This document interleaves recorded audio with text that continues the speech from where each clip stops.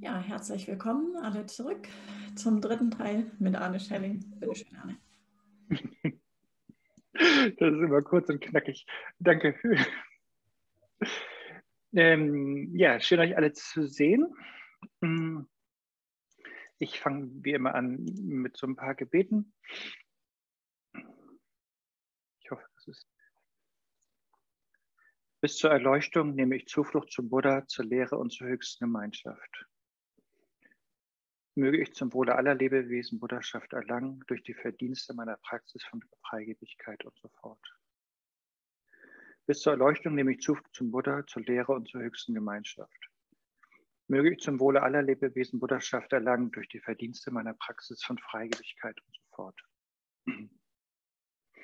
Bis zur Erleuchtung nehme ich Zuflucht zum Buddha, zur Lehre und zur höchsten Gemeinschaft. Möge ich zum Wohle aller Lebewesen Buddhaschaft erlangen, durch die Verdienste meiner Praxis von Freigebigkeit und so fort. Mögen alle Wesen Glück und die Ursachen von Glück erfahren. Mögen sie frei sein von Leid und den Ursachen des Leids. Mögen sie nie vom wahren Glück, das ohne Leiden ist, getrennt sein. Mögen sie in dem großen Gleichmut verweilen, der frei von Ablehnung und Anhaftung ist. Mögen alle Wesen Glück und die Ursachen von Glück erfahren. Mögen sie frei sein von Leid und den Ursachen des Leidens. Mögen sie nie vom wahren Glück, das ohne Leiden ist, getrennt sein.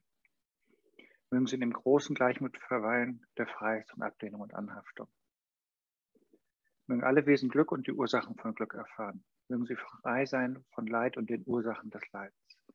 Mögen sie nie vom wahren Glück, das ohne Leiden ist, getrennt sein. Mögen sie in dem großen Gleichmut verweilen, der frei ist von Ablehnung und Anhaftung. Ja, danke euch allen fürs Kommen. Und ähm, ja, genau zu diesem dritten Teil von Anatomie des Geistes. Anatomie in dem Sinne zu gucken, wie der Geist funktioniert oder wie ich auch letztes Mal gesagt hatte, wie, ähm, wie wir vielleicht, wie der Geist die Dinge auch wahrnimmt und wie der Geist entscheiden kann, was wahr ist und was nicht wahr ist oder was war in dem Sinne von gültig oder verlässlich und in dem Sinne auch zielführend äh, sozusagen. Ähm, darum geht es sozusagen zu gucken, ähm, welche Wahrnehmungsmöglichkeiten oder Werkzeuge der Geist hat, damit er möglichst unverfälscht und ähm, direkt und ja, wie gesagt, dieses zielführend äh, die Dinge so wahrnimmt, wie sie sind. Und die Anfangsgebete sind mir immer wichtig, aber ich glaube allen, ähm, dass wir, wenn wir uns mit sowas beschäftigen, dass wir natürlich das nicht machen, einfach um ja, intellektuelles Wissen anzuhäufen oder ähm, ja, um besser zu werden als andere, sondern wir machen das ja alles im Buddhismus immer zum Wohle der anderen Wesen, dass wir den Wunsch haben, die Wahrheit zu sehen, unseren Geist besser zu verstehen und, und unseren Geist zu trainieren, ähm, damit wir quasi ähm, bessere Werkzeuge sind äh, für die fühlenden Wesen. Ähm, das Problem mit der fühlenden Wesen ist ja, dass alle so ähnlich ticken wie wir oder wie ich wenigstens. Ähm, wir wollen Glück haben und Leid vermeiden aber aufgrund von Unwissenheit, also weil wir nicht die Wahrheit sehen, weil wir die Dinge nicht so sind, sehen, wie sie sind, aufgrund dieser Unwissenheit oder Verwirrung erkennen wir eben nicht, was, was zu Glück führt und, und ähm, missverstehen quasi die Ursachen von Glück und die Ursachen von Leid. Das heißt, obwohl wir Glück suchen, sammeln wir und alle fühlenden Wesen mehr Leid, äh, mehr leidbringende Ursachen an und das Resultat wird dementsprechend eben leidhaft oder schmerzhaft oder verwirrend sein. Und wie gesagt, das basiert darauf, dass wir grundlegend unwissend sind und daher ist Sinn dieses Kurses sozusagen vielleicht nicht wenigstens ein Stückchen von der Unwissenheit zu beseitigen und ein Stückchen mehr die Wahrheit zu sehen, so wie sie tatsächlich ist. Hm, basieren wirklich auf dem Verständnis, sobald wir die nicht richtig äh, sehen, ähm, dann äh, und, und, irgendwelche Kopfkinos haben, irgendwelche geistigen Vorstellungen, irgendwelche geistigen Annahmen oder ähm, dann ja alles in die Richtung, wo wir entweder Dinge sehen, die nicht da sind oder Dinge nicht sehen, die da sind, ähm, dann führt das eben ja nicht zu einer korrekten Wahrnehmung und deswegen auch nicht zu einer korrekten Einschätzung einer Situation und deswegen auch zu einem ähm, Verhalten, was sozusagen nicht korrekt ist. Und dann ähm, produziert es einfach nur ja, Probleme für uns oder andere. Äh, also, das war jetzt vielleicht zu abstrakt, aber die Idee ist, wenn wir zum Beispiel nicht erkennen, dass die Dinge vergänglich sind, ne, wenn wir denken, die Dinge sind beständig und verändern sich nicht und sind deswegen verlässlich, dann, ähm, dann stützen wir uns zu, sozusagen zu sehr darauf, auf die Dinge und glauben, dass sie eben ja für immer da sind für uns, immer Glück bescheren können, ähm, verlässlich sind und, und all die Dinge halten, die sie versprechen, also die Dinge versprechen oder die Werbung über die Dinge versprochen hat. Ähm, aber so ist es halt nicht. Und wenn, wenn dann, dann die Vergänglichkeit eintritt und das kaputt geht oder nicht mehr funktioniert oder ganz andere Sachen äh, hervorbringt, als wir uns gewünscht haben, dann leiden wir. Dann, dann ähm, ja, sind wir enttäuscht und überrascht ähm, in Anbetracht dieser Vergänglichkeit der Dinge.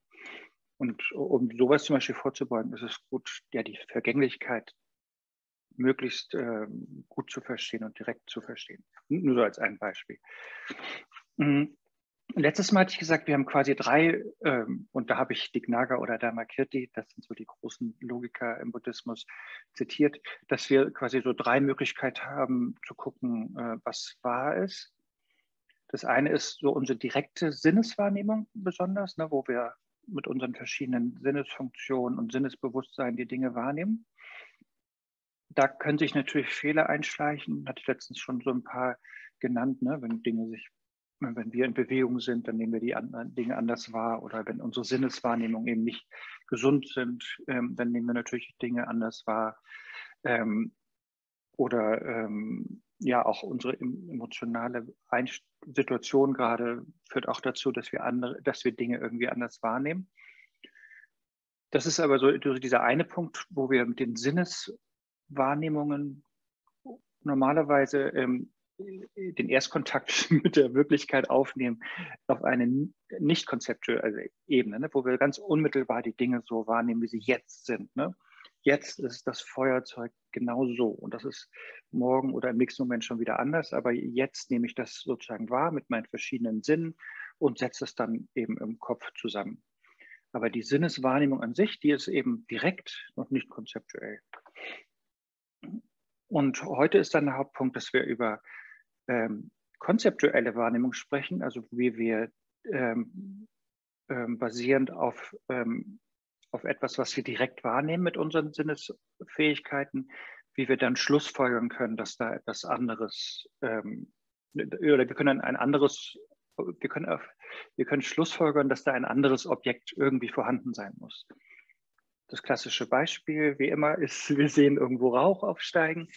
Das sehen wir direkt und dann können wir Schlussfolgern, obwohl wir das Feuer nicht sehen, können wir Schlussfolgern, ah, da muss es das Feuer irgendwo sein. Ne, also wir nehmen direkt ein Objekt, den Rauch wahr, und folgern dann korrekt, ah ja, da muss es Feuer geben. Und dann, weil wir dann also die Wirklichkeit konzeptuell jetzt verstehen, obwohl wir das Feuer nicht sehen, können wir konzeptuell valide, gültig schlussfolgern, da gibt es Feuer. Dann dann können wir richtig mit der Situation umgehen. Wenn wir zum Beispiel Feuer brauchen, weil wir grillen wollen, dann gehen wir dahin. Oder weil wir Wärme haben wollen, dann können wir dahin gehen. Aber wenn es eher etwas ist, was uns was bedrohlich ist, dieses Feuer, dann, dann, dann wissen wir, dass wir in die andere Richtung laufen müssen. Ähm, das kommt jetzt gleich, dann dieses, diese ganze äh, schlussfolgernde Erkenntnis, die aber dann bitteschön gültig sein soll, damit es äh, zielführend ist. Und die ist, wie gesagt, konzeptuell. Und die dritte Möglichkeit, wie wir Dinge wahrnehmen können, ist, dass wir Schriften oder hm, Personen um uns herum haben, die äh, äh, sozusagen äh, eine valide oder ähm, ja, authentische Quelle sind für die Wahrheit ne, wenn, vielleicht wenn wir Buddhisten sind, dann nehmen wir Buddha äh, an als eine authentische Quelle oder die Schriften von Buddha. Und vielleicht haben wir noch andere Meister dann, die, den, von denen wir ausgehen, dass sie valide, gültig äh, die Dinge wahrnehmen und lehren, vielleicht Nagarjuna, Shantideva oder unsere eigene Guru. Ähm, und dann, wenn wir so eine Person haben zum Beispiel, dann können wir auch eben zum Ziel kommen. Zum Beispiel, wenn die Person einfach sagt, da hinten ist Feuer. Und wir sehen vielleicht noch nicht mal Rauch und wir sehen vielleicht noch nicht mal äh, das Feuer, sondern einfach der Guru oder diese Person hier weiß, ah ja, da ist Feuer und dann kann sie uns zielführend zum Feuer bringen oder eben uns retten vor dem Feuer, je nachdem, was unser Wunsch ist. Ähm, und das ist so die dritte Art und Weise, wie wir die Dinge als gültig oder wahr wahrnehmen können, ähm, eben mit Hilfe einer, oder ich weiß nicht, so authentischen Quelle oder authentischen äh, Schrift, authentischen Meister oder Meisterin quasi. Ähm, und diese dritte Art, ähm, da hatten wir letztes Mal auch drüber gesprochen, das, ähm, das ist schon irgendwie so ein bisschen Glaubenssache und birgt manchmal auch so ein bisschen Schwierigkeiten, ähm, ähm, weil ja zum Beispiel die, äh, der Buddha ja zwar eine authentische Quelle für die Wahrheit ist, aber natürlich in verschiedenen Situationen verschiedene Dinge sagt, um verschiedenen Wesen zu helfen. Und deswegen können die Dinge ein bisschen im Widerspruch zueinander stehen. Das ist sozusagen ein kleines Problem, aber eigentlich eine Schönheit im Dharma. Ähm, diese Individualität oder diese Situationsbezogenheit. Ähm, und ein anderes Problem ist natürlich, dass das nicht äh, sozusagen nicht so ein gutes Argument ist, wenn wir mit Nicht-Buddhisten sprechen. Ne, wir können ja nicht zu einem Nicht-Buddhisten sagen, ähm, ja, da hinten ist Feuer oder äh, Karma existiert, weil Buddha hat das gesagt. Ähm, das ist, ist nur mäßig beeindruckend ne, für jemand, der oder die eben nicht ähm, ja, Vertrauen hat in den Buddha. Also genauso wie in meinem Fall, wenn, wenn mir jemand sagt, ja, Allah hat dies oder jenes gesagt, dann äh, kann das sein, aber für mich ist es halt nicht überzeugend, weil ich Allah in meiner Sichtweise eben nicht als ein ähm, jemand äh, äh, verstanden habe, der oder der gültige Erkenntnis äh, äh, besitzt. Oder eben, wenn irgendwie, was weiß ich, mein, mein Nachbar sagt, hier, unser Hausbesitzer hat äh, das und das gesagt, dann ja, glaube ich auch nicht, dass unser Hausbesitzer ähm, vielleicht eine Quelle von gültiger Erkenntnis ist. Deswegen ähm, ist es dann nicht beeindruckend äh, für mich. Das heißt, ähm, dieser, dieses dritte Werkzeug, dass wir uns auf jemanden stützen, hm, wie zum Beispiel einen Lehrer oder Lehrerin oder auch auf Schriften. Natürlich können wir viel äh, durch schlussfolgernde Analyse auch äh, nachvollziehen oder auch durch direkte Wahrnehmung können wir viel nachvollziehen. Aber so ein Stück Restraum bleibt sozusagen, wo wir einfach äh, dann glauben müssen oder vertrauen müssen. Aber natürlich basierend auf mm, ja, einem langen Kennenlernprozess, äh, wo wir uns gegenseitig kennenlernen und untersuchen. Also Lama und ich dann in dem Fall. Mm. Und ähm, auch wenn es trotzdem nicht ganz wasserdicht sozusagen ist, ne, sondern einfach ein Glauben oder so äh, noch mit einer Rolle spielt oder ein Vertrauen, ist es trotzdem ähm, ja etwas sehr Wichtiges, zum Beispiel, wenn wir einfach, mm, wenn uns in der Praxis an Inspiration fehlt zum Beispiel oder wir einfach manche Sachen äh, nicht verstehen in der Praxis, dann, ähm, dann einfach so eine Aussage zu bekommen von einer Person, die wir für valide halten, kann dann total hilfreich sein für die Praxis.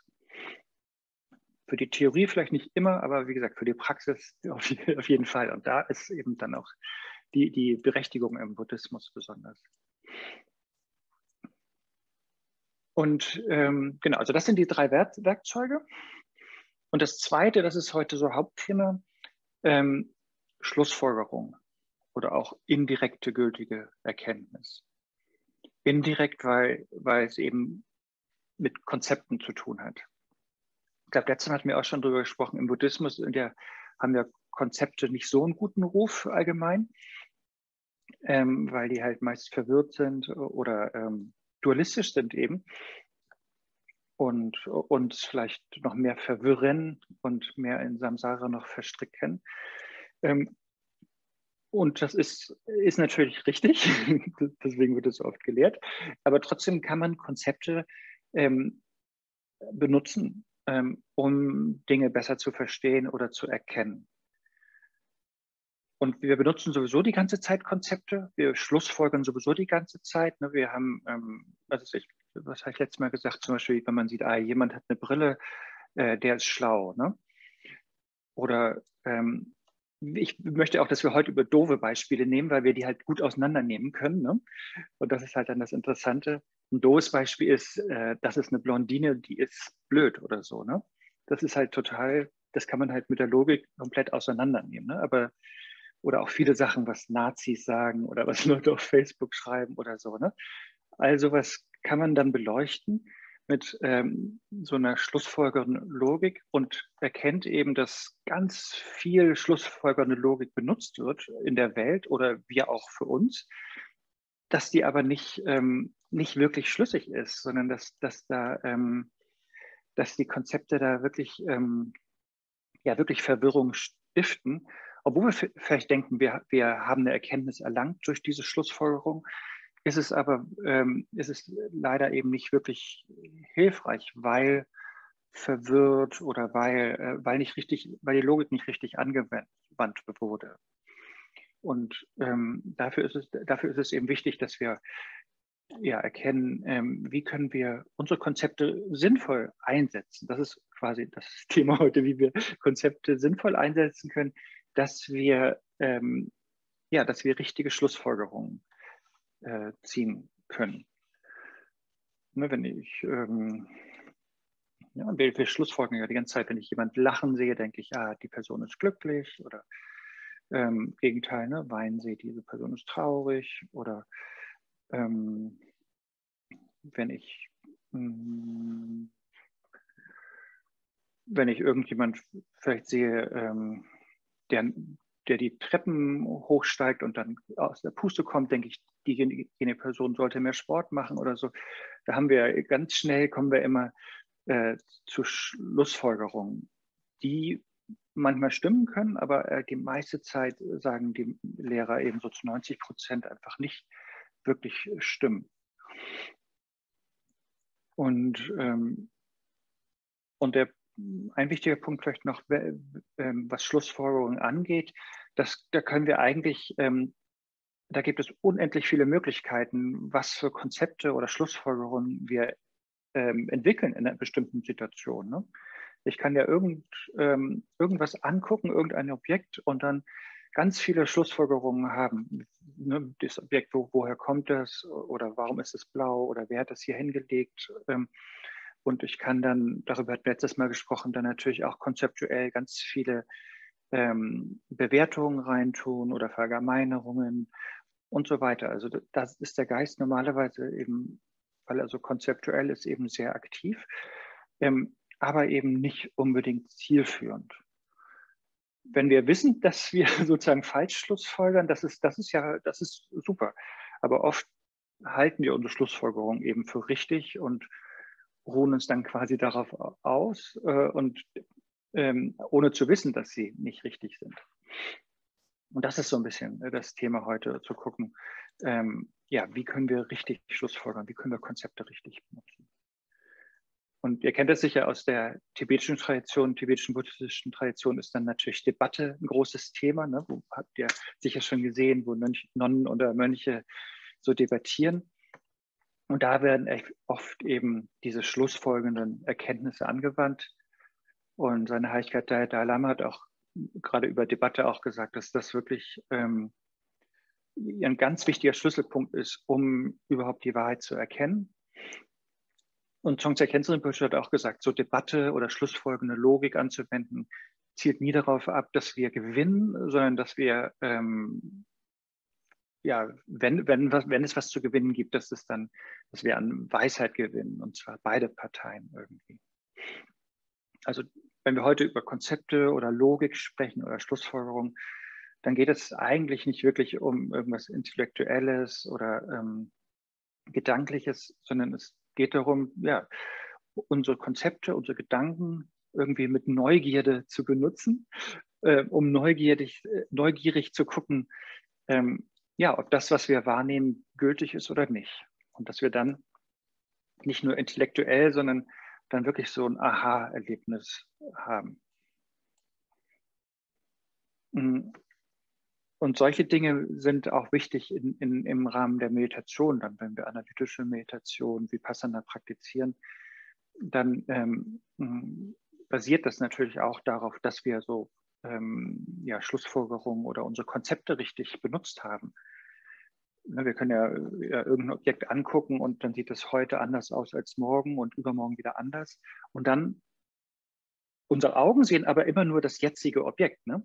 Aber dann unser konzeptueller Geist kann dann schlussfolgern, ah ja, Vergänglichkeit. Ne? Unsere Augen können ja Vergänglichkeit nicht wahrnehmen. Die sehen ja immer nur einen Nanomoment sozusagen. Aber, ähm, unser, aber wenn wir das dann konzeptuell vergleichen, wir sehen die Ähnlichkeit, aber dann kleine Unterschiede über die Zeitachse. Dann kommen wir zum Beispiel da auf den, das Verständnis, ja, Dinge sind, ähm, äh, sind vergänglich. Und, und, und, und das ist dann, ähm, das können wir zum Beispiel durch Schlussfolgerung Logik ähm, so eine Erkenntnis bekommen und dann darüber dann meditieren im Vipassana. Und das ist dann auch wirklich der Unterschied, wenn wir es nur intellektuell verstehen, dass die Dinge vergänglich sind, das ist ähm, ist okay, das ist schon mal ganz gut. Aber so aus buddhistischer Sicht ist so ein intellektuelles Verständnis, äh, wird es einsortiert in ein Zweifel, der Richtung Wirklichkeit zeigt. Das ist sozusagen ein Zweifel, äh, weil, weil, weil es nur ein intellektuelles Verständnis ist und wir es nicht wirklich äh, wissen. Wohingegen wir jetzt durch diese schlussfolgernde Erkenntnis versuchen wollen, wirklich zu erkennen, wie die Dinge wirklich sind und dann wirklich so ein Aha-Erlebnis haben. Ja, da muss Feuer sein. Geht schnell weg und allen Bescheid sagen. Ne? Das ist gefährlich. Und äh, genau, das ist, äh, das ist das, was ich am Anfang sagen wollte. Und bevor wir dann jetzt wirklich dann einsteigen, wollte ich kurz fragen, ob, ob das soweit klar war oder ob ihr irgendwas fragen oder besprechen möchtet darüber. Und wenn ihr was sagen möchtet, dann einfach euch freischalten quasi.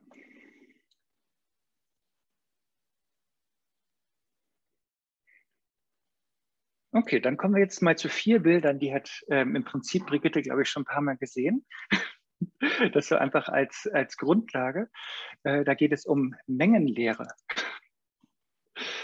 Habt ihr sicher alle schon mal in der Schule auch gehabt. Vielleicht machen wir das so, dann könnt ihr gleich alles gleichzeitig sehen und hintereinander. Und ich habe da so ein paar Beispiele einfach. Das ist jetzt nur so dargestellt. Das sind eigentlich zwei exakt gleiche Kreise. Ne? Das heißt, was, wir jetzt, was ich jetzt hier kurz besprechen will, ist, ähm, es ist wichtig für schlussfolgernde Erkenntnis, dass wir wissen, wie die Dinge in Beziehung zueinander stehen. Ähm, wird gleich Sinn machen. Ne? Und wenn wir zum Beispiel hier einen Kreis haben der vergänglichen Dinge, ne, alle Dinge, die vergänglich sind, sind warum vergänglich? Weil sie zusammengesetzt sind, compounded. Also das ist sozusagen ähm, total immer die gleiche, wenn wir in Mengenlehre sprechen, es ist immer genau das Gleiche. Ne? Ist, ähm, alles, was vergänglich ist, ist zusammengesetzt. Alles, was zusammengesetzt ist, vergänglich. Also das ist hier nur so dargestellt, das ist, äh, weil die übereinander liegen, die Kreise, aber das können wir ja sonst nicht sehen.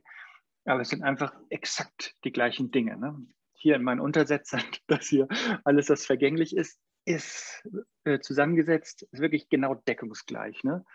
Ähm, und ähm, das ist hier der Punkt. Wenn, so können zum Beispiel Dinge sein. Ne? in dieser Beziehung stehen, dass sie einfach synonym quasi sind oder äquivalent sind. Dann eine andere Möglichkeit wäre, dass sie komplett konträr sind. Ne? Dinge, die unbeständig sind, äh, die Dinge, die beständig sind, sind nicht unbeständig. Die sind komplett das Gegenteil. Ne? Heiß, kalt, ähm, Buddha und fühlende Wesen oder so. Ne? ganz anders.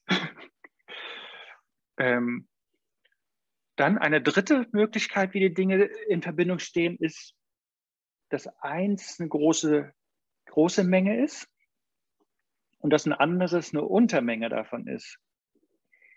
Also in der riesigen Menge von Vasen in diesem Fall haben wir rote, gelbe, grüne, blaue, aber auch goldene. Also die goldenen Vasen sind sozusagen eine Untermenge innerhalb der großen Menge der Vasen. Ne? Oder anderes Beispiel ist in der großen Menge von Obst. Da haben wir ähm, ja, Mango, Birne, Banane, Apfel, aber auch die äh, Untermenge Kiwis. Gleich fertig. Die vierte ist, äh, kennen wir sicher auch noch aus der Mathematik, irgendwie, wenn zwei größere Mengen sich überschneiden. Hier als Beispiel haben wir alle Butanesen auf dem linken Kreis. Da gibt es dann Synam, da gibt es Tashi und so weiter. Und da gibt es Zongzerkenzerenbutsche. Und dann haben wir hier im rechten Kreis alle Könige oder Königinnen. Ne? Ähm, da gibt es dann welche vielleicht aus England, aus Schweden oder so.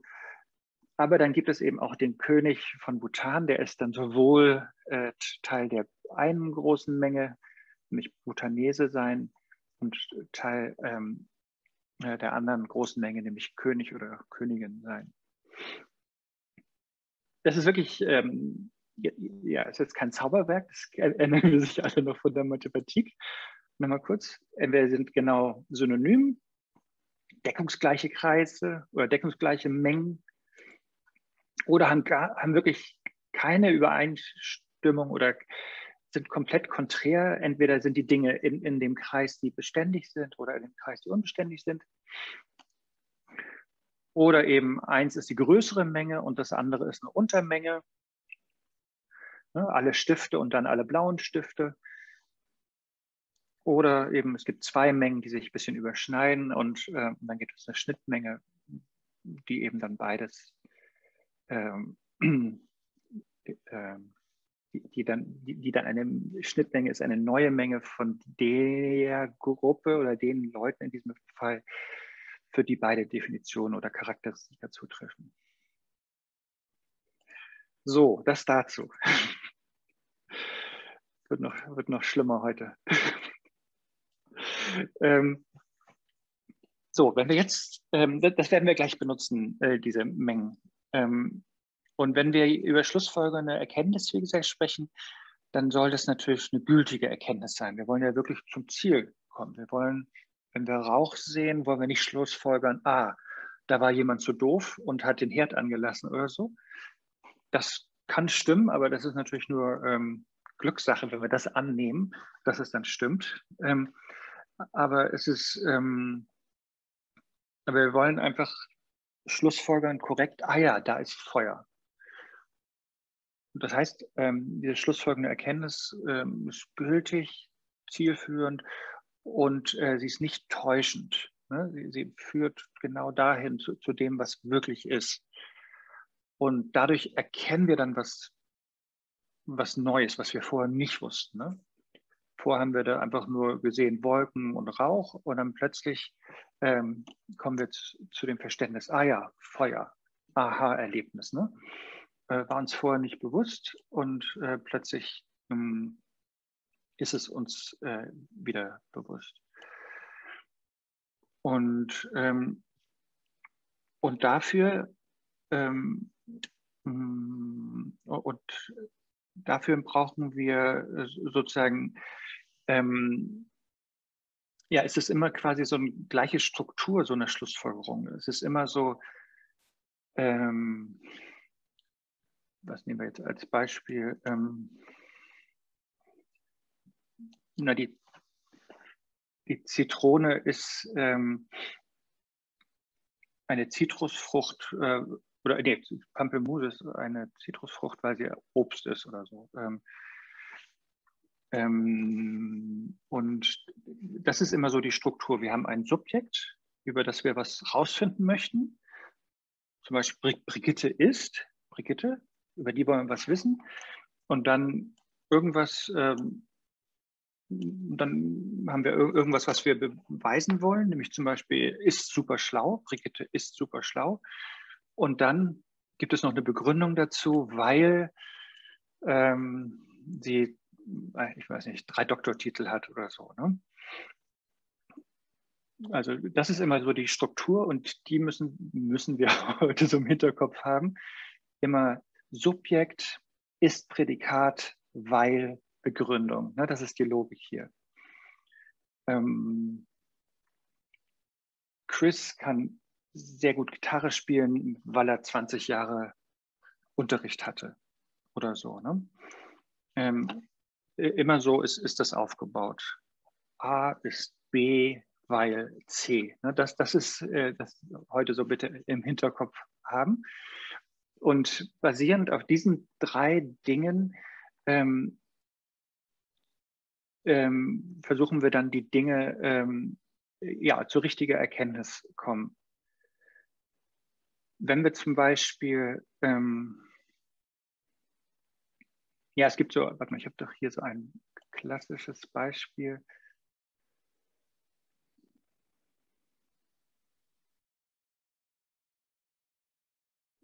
Obwohl, wir können mit diesem einfachen anfangen. Ich mache ich mach mal hier einfach ein Word-Dokument auf.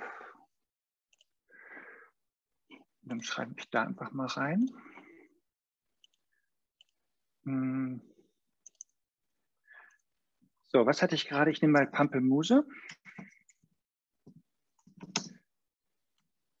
Das ist also A. Wir haben, die Struktur ist A ist B weil C.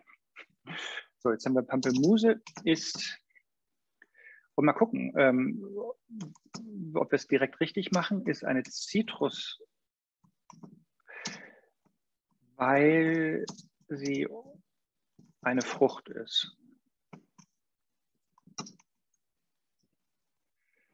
So, hm, das ist quasi immer wie, wie die Dinge ähm, aufgebaut sind. Oh, warte, ich wollte doch, doch ganz anders machen heute, habe ich doch Brigitte vorher gesagt. Entschuldigung. Ich wollte es so machen. So, nochmal. Hm. Also, Pampelmuse ist eine Zitrusfrucht, weil sie Obst ist, das muss jetzt nicht so gutes Deutsch sein, es soll ja auch möglichst so sein, dass wir verstehen, um was es geht hier. Ähm, mal kurz. Ah, überfordert hier mit dem Ding. Okay, ihr müsst das ist euch jetzt denken. Ich weiß nicht mehr, warum ich hier nicht mehr reinkomme. Ach doch, jetzt hier. Ist. So, das ist sozusagen jetzt der erste Satz, den wir jetzt, ähm, oder diese Begründung, die wir mal beweisen wollen. Ja? Dann mh, hm, gibt es eben jetzt mehrere Dinge, wie wir das untersuchen. Und das ist erstens einmal, ups, einmal wollen wir untersuchen, ob diese Verbindung stimmt auf Pampelmuse Obst ist. Und da können wir sagen, ja, Obst ist die große Menge, ne, wie vorher die Vase, und da war die goldene Vase eine Untermenge und Pampelmuse ist definitiv eine Untermenge darunter. Ne, also das passt schon mal gut. Dann die nächste Sache, die wir testen wollen, ist diese Verbindung. Und da ist die Frage, ist alles, was Obst ist, notwendigerweise eine Zitrus. Und stimmt das oder stimmt das nicht? Genau, ich sehe ein paar kopfschüttelnde Menschen. Genau, das stimmt nämlich nicht. Haha. Deswegen Fehler.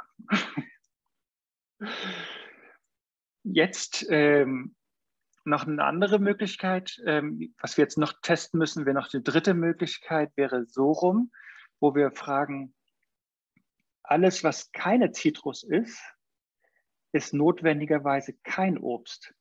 Klingt jetzt mal kompliziert. Alles, was keine Zitrusfrucht ist, zum Beispiel Apfel, ist notwendigerweise kein Obst, stimmt auch nicht.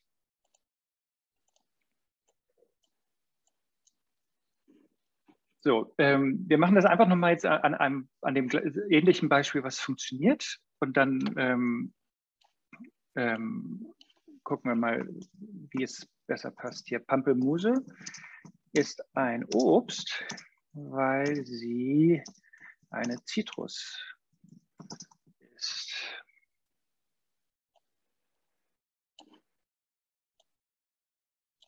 So.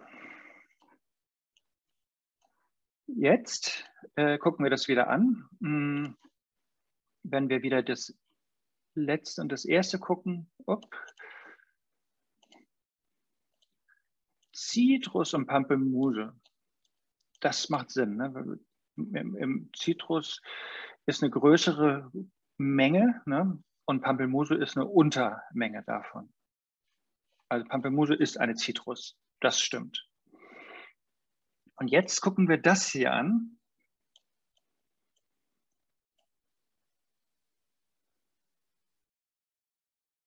Oh, ich, jetzt habe ich echt, echt verwirrt. Hier oben habe ich das falsch rum gemacht. Das war nicht wichtig.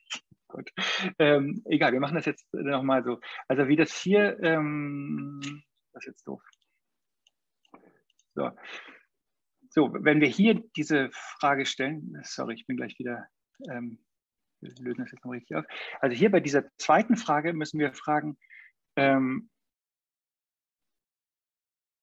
doch, doch, das war richtig. Alles, was eine Zitrus ist, ist notwendigerweise Obst. Das stimmt. Ne? So, jetzt habe ich hin und her verwirrt. Also alles war richtig soweit. Ähm, so, hier beim zweiten. Alles, was eine Zitrus ist, ist notwendigerweise Obst. Das stimmt. Aber ist, es, ist das hier auch richtig? Alles, was kein Obst ist, ist notwendigerweise auch keine Zitrus? Stimmt das?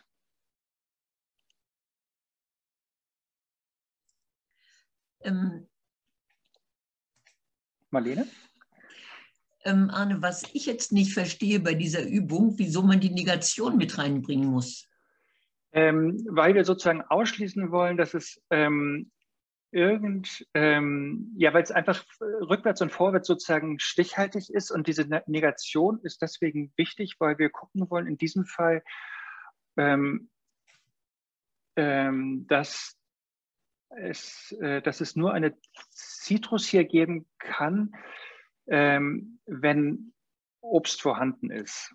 Wir müssen einfach, um, um wirklich eine Logik vollständig kohärent zu äh, vollständig wasserdicht zu haben, müssen, muss einmal sozusagen die, die positive Beweisführung stimmen. Ah ja, ähm, was immer eine Zitrus ist, ist Obst. Und gleichzeitig muss es auch negativ sozusagen stimmen, was alles kein Obst ist, darf dann auch keine Zitrus sein.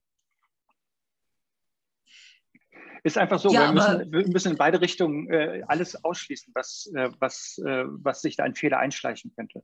Aber durch, durch die Negation, also wenn man zum Beispiel das obere Beispiel nimmt, ja? ähm, Pampelmuse ist eine Zitrus, weil sie Obst ist. Ähm,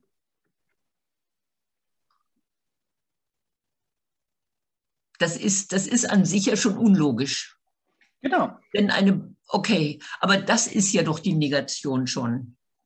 Nee, nee. Wenn man das äh, quasi als Gleich, Gleichung aufschreibt und man stellt in dieser Gleichung ein, eine Negation dar, dann ist das doch, damit stimmt ja das Beispiel nicht. Da kann man ja schon sagen, die Logik stimmt nicht.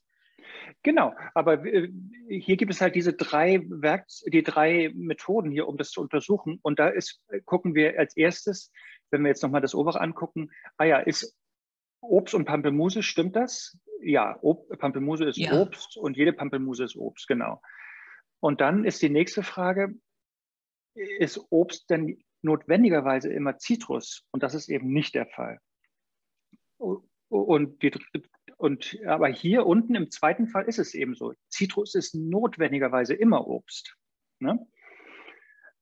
Aber um sicher zu gehen, müssen wir eben noch die Negation machen. Ist es immer so, wenn es keine Zitrus ist, dass es dann auch kein Obst ist, um einfach ganz sicher zu sein. Und alles, was, und das ist eben auch hier falsch, ne? weil zum Beispiel eine Aprikose ist kein Zitrus, aber ist trotzdem Obst. Deswegen hier unten mh, hm, etwas, was kein Obst ist, ist notwendigerweise auch keine Zitrus, nicht wahr? Da macht es Sinn. Ja. Ähm, und wirklich, es ist einfach nur, um, um, um es wasserdicht zu machen. Ne? Wenn wir irgendeine Aussage haben, ähm, ist es, ähm, auch wenn sie erstmal okay klingt, also ich finde zum Beispiel der erste Satz, Pampelmuse ist ein Zitrus, weil sie Obst ist, finde ich, klingt erstmal okay irgendwie, aber, ähm, aber macht, wenn wir beim genauen Hinschauen, eigentlich gar keinen Sinn. Aber ähm, der, die zweite Zahl, Pampelmuse ist ein Obst, weil sie ein Zitrus ist, macht Sinn, weil sozusagen die Mengenverhältnisse, die Größenverhältnisse intakt sind. Jetzt kann man sich fragen, warum das alles? Ich meine, ähm, das machen wir alle, alles, um ähm, ja, buddhistische Texte wirklich gut verstehen zu können, wo eben von verschiedenen Themen oder Begriffen und Definitionen gesprochen wird. Und wir erkennen müssen, ähm, äh, wie die, wie die zu, zusammenhängen und ob die Schlussfolgerungen, die daraus gezogen sind, richtig sind oder nicht. Und insbesondere, da Marlene fragte, insbesondere dieser zweite Ding, ich teile es mal kurz, ähm, wo wir ähm, negieren, dieser Teil, alles, was kein Obst ist, ist notwendigerweise keine Zitrus. Ähm, dieser Punkt wird äh, ganz viel ähm, in der Madhyamika, in den Madhyamika-Belehrungen benutzt, ähm, wo wir eben so über Negationen ähm, äh, ähm, ja, wirkliche Existenz quasi widerlegen. Äh, Marlene, du wolltest noch was sagen, gell? Ja, was, was ist denn dann die Quintessenz aus diesem zweiten Satz? Also man muss ja, um die eigene Logik zu bestätigen, muss man ja dann zu einem Ergebnis kommen. Was wäre denn das Ergebnis? Genau, das Dass Ergebnis der Satz ist, stimmt. Genau. Und, und jetzt, ähm, damit nicht nur immer ich nur ich nicht nur immer rede, also hier genau das. Hier haben wir jetzt bewiesen, dieser Satz hier unten stimmt. Ne? Pampelmuse ist ein Obst, weil sie eine Zitrus ist. Klassisches Beispiel: ähm, ähm, Klang oder jede Form ist vergänglich, weil sie zusammengesetzt ist. Ne? Das ist so ein klassischer Klassiker. Ne? Also egal, was wir haben, die Tasse, die ich angucke, oder das Feuerzeug oder mein Körper, ist, ähm, ist vergänglich, weil er zusammengesetzt ist. Ne? Der ist entstanden durch Eizelle und Samenzelle und dann tausend Faktoren und Bedingungen und deswegen ist er vergänglich, deswegen ist er sterblich. Und das ist quasi äh, dann der Aha-Moment, den man daraus kriegt. Ne? Ähm, zum Beispiel, das kennen wir sicher von äh, Sokrates auch, der hat ja ähnliches gesagt. Ne?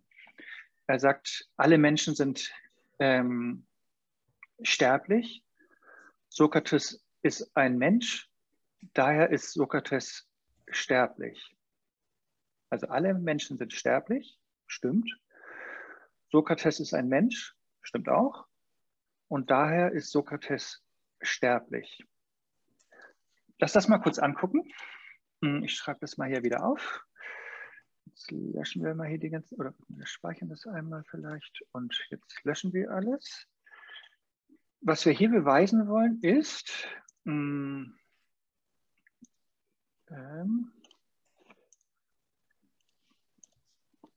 Sokrates ist sterblich, weil er ein Mensch ist. Ne? Das, das wäre sozusagen das, was er eigentlich gesagt hat. Genau, und wenn wir das jetzt angucken, dann gucken wir als erstes diese Verbindung an. Sokrates und Mensch. Ne? Ja, macht Sinn. Ne? in der großen Menge der Menschen gibt es Wolfgang, Günther, Hanno, Amadeus und Sokrates zum Beispiel. Ne? Stimmt. Dann die zweite Frage ist diese Verbindung. Ist alles, was ein Mensch ist, oder ist jeder, der ein Mensch ist, ist der ähm, notwendigerweise sterblich? Ihr könnt gerne mal nicken oder Daumen hoch oder runter machen, damit, ihr, damit ich sehe, wie ihr denkt. Genau, ich sehe ein paar Daumen hoch. Genau. Genau, Not, alles, alle Menschen sind notwendigerweise sterblich. Das stimmt. Es gibt, ne? Und im Umkehrschluss, wenn wir es jetzt wieder negativ anschauen, die dritte Richtung ist, alles, was nicht sterblich ist, ist notwendigerweise kein Mensch. Oder anders ausgedrückt, ähm, alles Unsterbliche, alles, was unsterblich ist, kann kein Mensch sein. Was denkt ihr? Daumen hoch oder runter? Danke, ich sehe einen Daumen.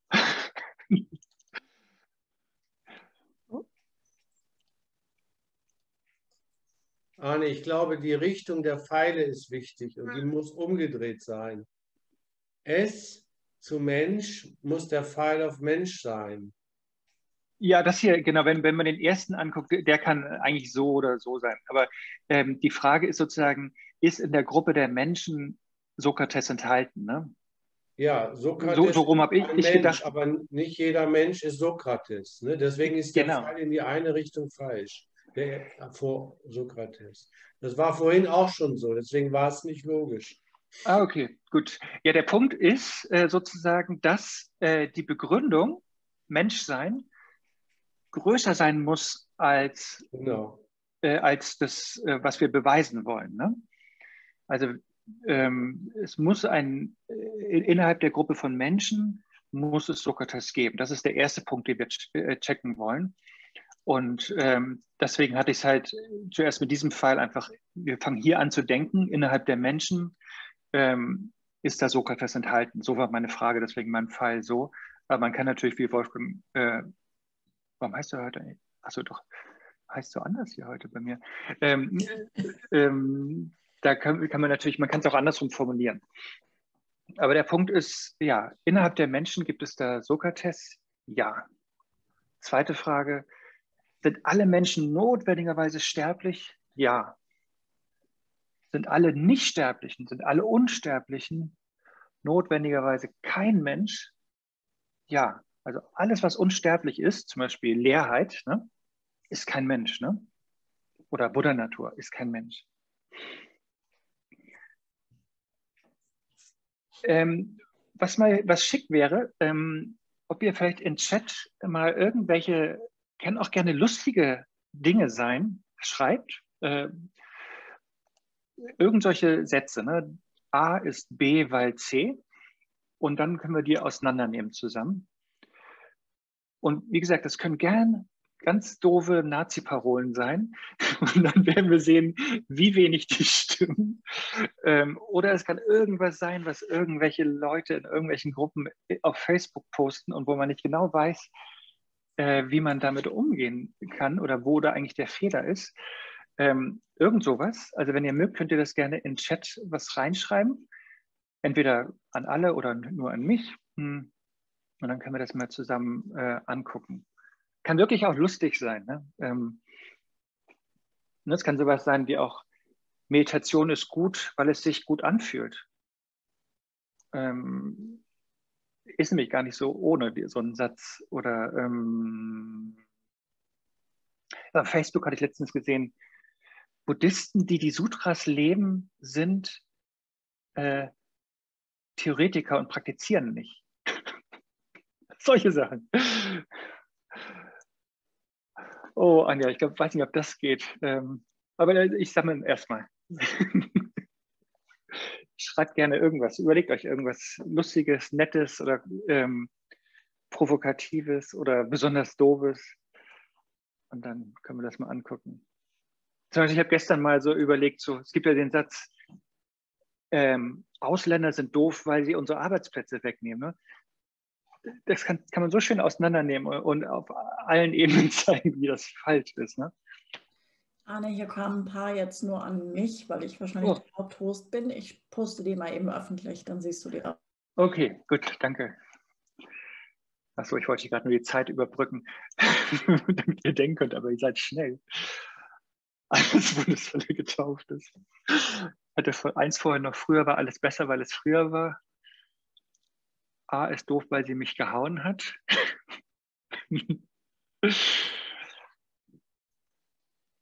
Haben wir noch mehr?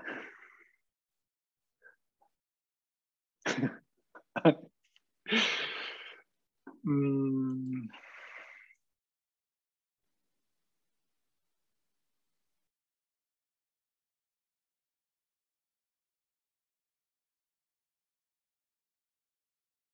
Also wir können ja mal mit dem ersten hier anfangen. Arne ist Buddhist, weil er getauft wurde. Das ist, glaube ich, der einfachste. Und ihr könnt gerne weiter überlegen und an mich schreiben oder an Brigitte und dann Brigitte wirft es dann in die Runde. Also Arne ist Buddhist, weil er getauft wurde. So, so. Klappt ja hervorragend hier. Ähm,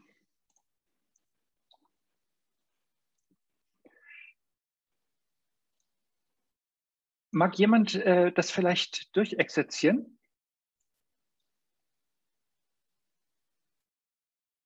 Mit mir zusammen?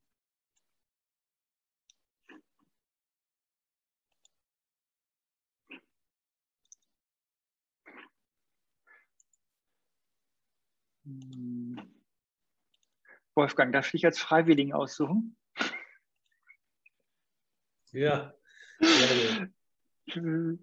Also Arne ist Buddhist, weil er getauft wurde. Was ist jetzt die, was ist der erste, die erste Verbindung, die wir checken wollen?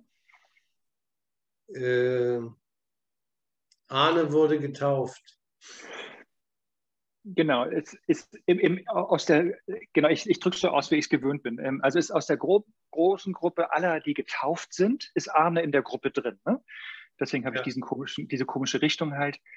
Und ja, in der, aus der großen Leute, Gruppe der Leute, die getauft sind, ist Arne äh, ein, äh, ein Element. Und das weiß wahrscheinlich nur ich hier.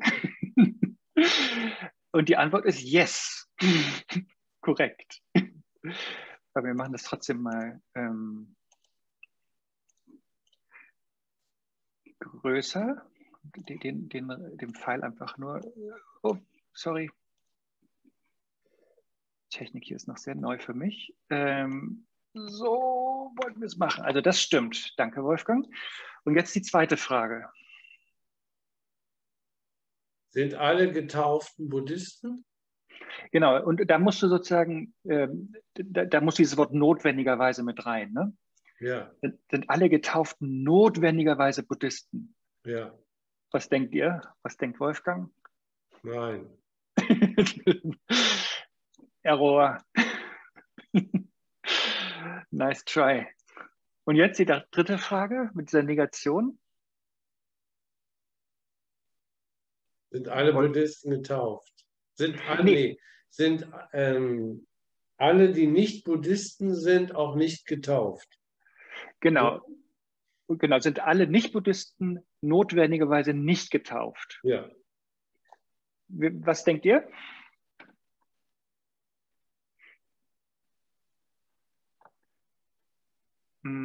Das ist wirklich immer das, das Schwierigste, diese, diese dritte Aktion. Ähm, also Nein, nicht falsch. Buddhisten notwendigerweise nicht getauft. Ähm, genau, ist falsch. Gibt's zum, kannst du ein Beispiel sagen? Jemand, der nicht Buddhist ist und nicht getauft ist? Da, zum Beispiel ein, ein äh, Islam. Sehr gut. Genau, das ist noch so ein wichtiger Punkt. Wenn, gerade wenn man, achso, genau, deswegen haben wir hier wieder ein, ja, ups, wollte ich schon schön, ein, er, ups, entschuldigen Sie, ein Error. Ähm, genau, wenn man immer so ein, wenn man immer so einen Error findet, ne, also eine Nicht-Logik, dann ist es immer wichtig, wie Wolfgang gerade gemacht hat, dann ein Beispiel zu nennen. Ne? Also beim, bei der erste Fehler war, alle, die getauft sind, sind ja nicht notwendigerweise Buddhisten. Zum Beispiel Papst, der Papst. Ne? ähm, und dann alle Nicht-Buddhisten sind notwendigerweise nicht getauft. Das stimmt nicht, weil es Nicht-Buddhisten gibt, die auch nicht getauft sind. Wie zum Beispiel, was war dein Beispiel? Äh, jemand aus dem Islam, genau. Und da, da kann man auch dann einfach irgendeinen Namen nennen irgendwie. Aber ähm, genau, wenn wir Beispiele nennen, ist immer, da, da, müssen wir natürlich dann immer Beispiele nennen, insbesondere wenn wir uns mit jemandem unterhalten oder debattieren. Da müssen wir immer ein Beispiel nehmen, was, was wir beide akzeptieren. Ne? zum Beispiel der Papst, äh, akzeptieren wir vielleicht alle, dass der getauft wurde, aber kein Buddhist in Atishas Definition ist, ne? der Zuflucht zu Buddha Dhamma Sangha genommen.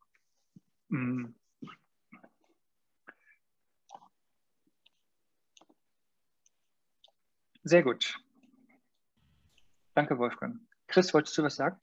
Ja, so, was hast du gesagt? Dass, dass es alle äh, Nicht-Buddhisten sind nicht getauft oder alle Nicht-Buddhisten sind getauft? Ähm, die, die, diese dritte, die dritte Richtung hier? Ja. Da, da ist die Frage, ähm, ob alle Nicht-Buddhisten notwendigerweise, also unbedingt nicht getauft sind.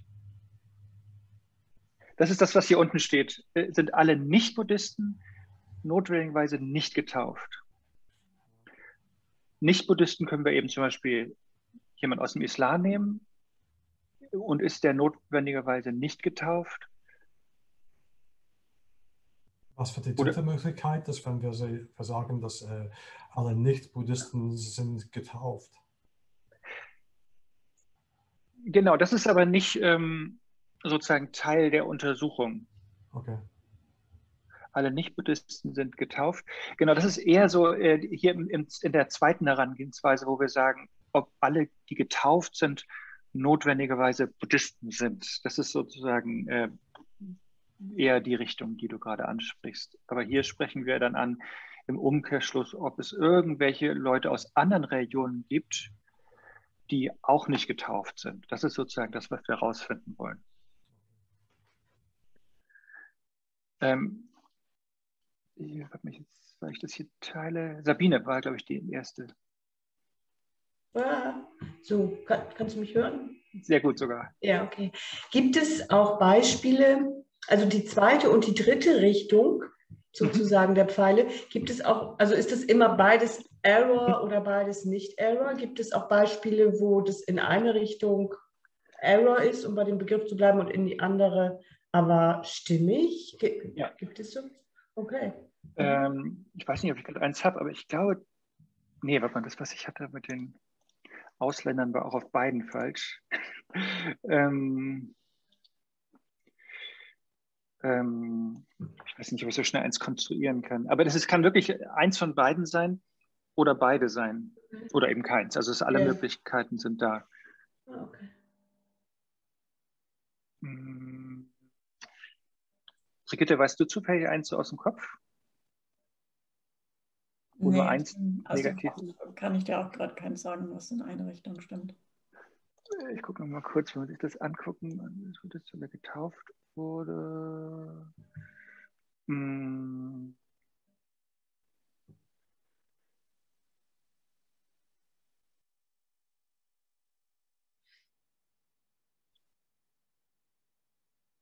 Äh, fällt mir gerade nicht ein. Ich, ich werde drüber nachdenken bis zum nächsten Mal. Ja, aber auch wenn ich, Entschuldigung, noch mal kurz der zweite ja, Teil, auch wenn es in, nur in eine Richtung nicht gültig ist, dann ist es grundsätzlich eine ungültige Schlussfolgerung. Genau. Alles klar. Okay. Also eine Richtung reicht sozusagen, um genau, diese Schlussfolgerung ungültig zu machen. Mhm. Ja. Okay. Dankeschön. Wie wäre der Satz, Arne ist Mensch, weil er getauft wurde, wenn wir jetzt mal davon ausgehen, dass eigentlich Tiere und so weiter nicht getauft werden? Okay, lass mal alles gucken.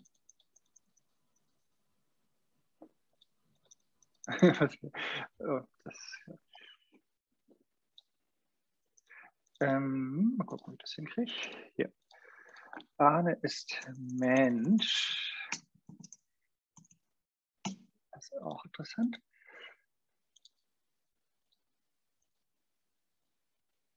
So, habe ich jemand, der oder die freiwillig mit mir da durchgeht, durch die drei Möglichkeiten?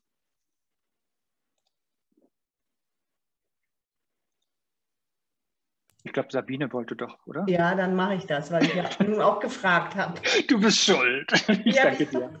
Das, das, kann ich gut mitleben. Aber ich mache also, das ja mit dir zusammen. Also, ähm, ja, genau. genau. Die erste.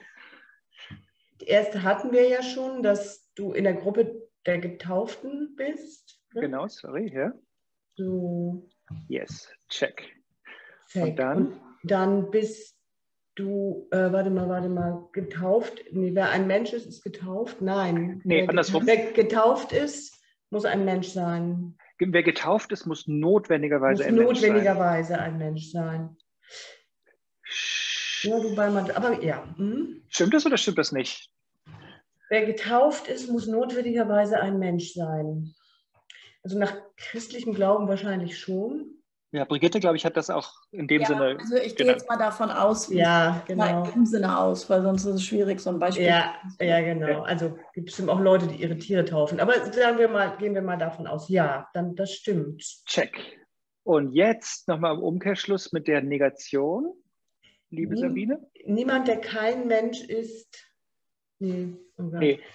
Kein, wer, wer kein Mensch ist, kann auch nicht getauft sein genau, kein, äh, alles, was kein Mensch ist, alles, ist notwendigerweise nicht notwendigerweise. Getauft. Alles, was kein Mensch ist, ist notwendigerweise nicht getauft. Brigitte ist auch ähnlich, oder? Weil alles, was kein Mensch ist, äh, also gibt es ein, äh, gibt es etwas, was kein Mensch ist, aber getauft ist? Nee, ne? Also nicht nach christlichem Glauben. Wie gesagt, irgendjemand tauft nee. vielleicht auch sein Schaf, aber ich. Ja, dann ist es äh, auch wieder bei, äh, stimmt das auch wieder. Ja. Aber das ist doch, nee, warte mal, aber eigentlich ist doch was falsch hier. Wieso? Arne ist ein Mensch. Ach so, doch, wann er getauft wird. Das ist echt tricky, ne? Brigitte. Ja, ja. Brigitte ist schuld. Nee, nee, aber das stimmt. Wir haben doch alles richtig. Ne? Arne ist getauft. Das stimmt. Ja. Alle, die getauft sind, sagen wir mal aufgrund des christlichen Glaubens, sind notwendigerweise Menschen, ja. Und es gibt keine Wesen außerhalb der Menschen, wie zum Beispiel Tiere oder Dämonen, die notwendigerweise nicht getauft sind.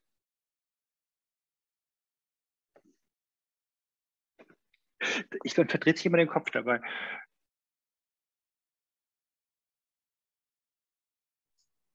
Durch das notwendigerweise ist die Aussage falsch.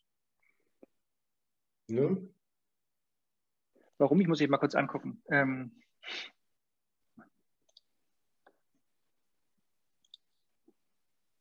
warte mal, alle? Warte mal, ich muss noch mal kurz teilen. alle, also alle Nichtmenschen sind notweise nicht getauft, ja. Ja. Ist aber richtig die Aussage, oder? Mit dem notwendigerweise. Oder was ist dein Punkt, Wolfgang? Ja, Moment, eben ist gerade wieder weg. Das ist wirklich so tricky, mit dieser dritten Version ähm, das anzugucken. Weil man da entweder einmal zu viel oder einmal zu wenig die Negation hat.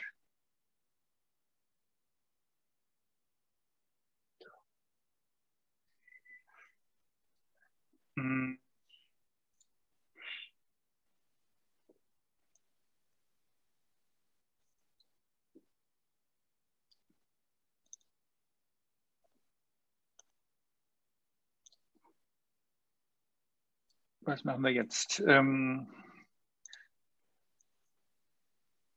oh, Marlene, genau. Äh, wir hören dich nicht, falls du schon sprichst. Oh, pardon. Ich verstehe das Erkenntnisleitende bei, diesen, bei dieser Negation nicht. Ähm, was hat diese Negation, also alles, was kein Mensch ist, ist notwendigerweise nicht getauft. Was hat das mit dem Ausgangssatz, den wir logisch beweisen wollen, zu tun? Ich sehe da noch nicht. Ähm, ja, ich, genau, weil ich sage, hier ist es. Ähm, normalerweise reicht sozusagen der, der, der erste Schluss. Also der, ähm, warte mal, ich zeige es mal. Ähm, normalerweise ist sozusagen ähm, hier, normalerweise ist das hier das Wichtige also alles, was unten ist, ist sozusagen erstmal das eigentlich das Hauptwichtige. Ne? Ähm, aber in, in manchen Fällen, ich komme, es tut mir echt leid, dass ich jetzt habe ich keinen vorbereitet dafür, ähm, ist dieser dritte eben nicht richtig und dann wirft es eben doch alles auseinander. Ja, aber darf ich noch mal ganz kurz dazwischen? Arne ist Mensch ist doch auch eine Aussage.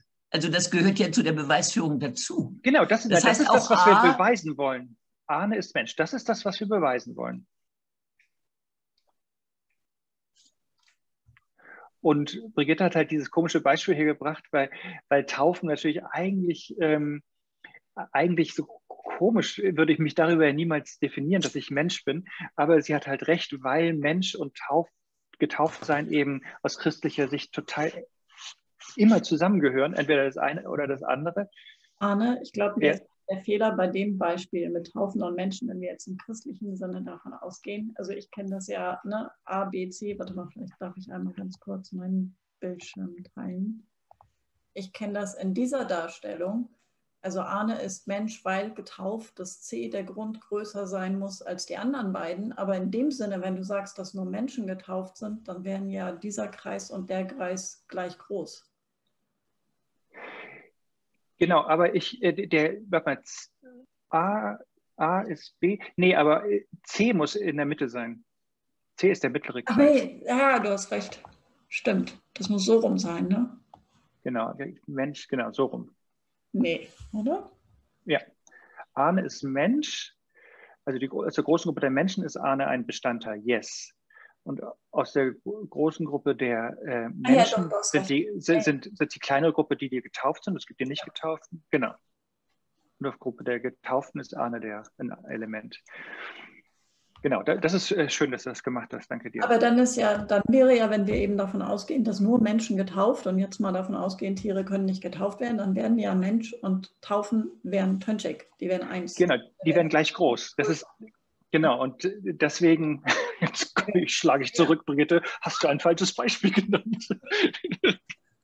Weil ähm, genau, es ist tricky. Ähm, aber ich, ich, ich denke mir zunächst mal eins aus und Brigitte, vielleicht, wenn ich keins mir, oder ihr könnt mir eins e-mailen, wenn, wenn euch eins einfällt.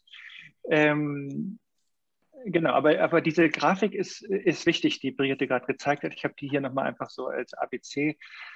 Also A ist B, weil C. Diese Größenverhältnisse, ähm, die müssen stimmen.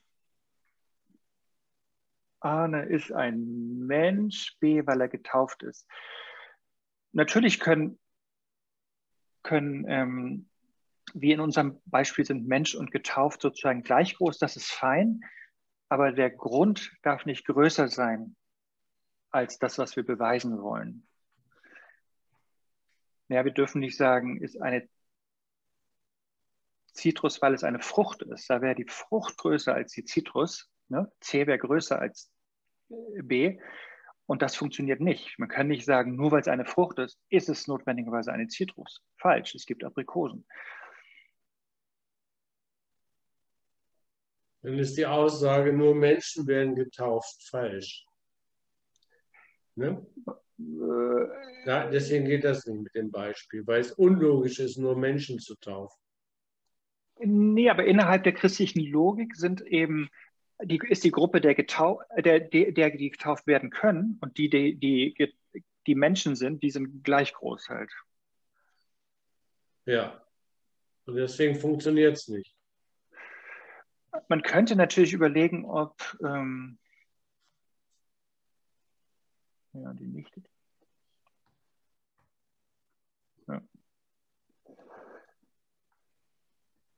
Hm.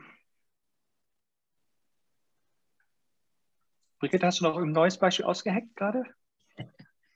nee, jetzt nicht auf die Schnelle. Nee, nee, alles gut. Lass uns mal irgendein einfacheres nehmen. Hm. Anja, wohin führt das Ganze gerade? Genau, das ist die, die, die gute Frage. Lass uns mal kurz ein, ein einfaches Beispiel nehmen. Ähm, hm. oder nicht ein einfaches. Lass mal ein ein, äh, ein Beispiel nehmen, was vielleicht einen Aha-Effekt hat, damit wir die Frage beantworten können. Ähm, warte ich muss mal kurz überlegen, welches wir nehmen.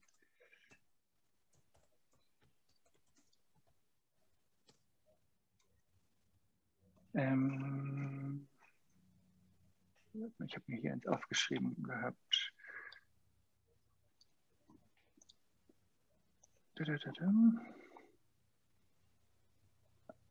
Genau. Ähm, wie wäre es mit dem hier?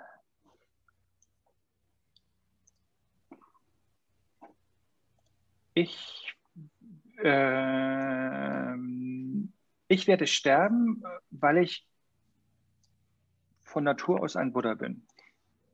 Ich schreibe das mal auf.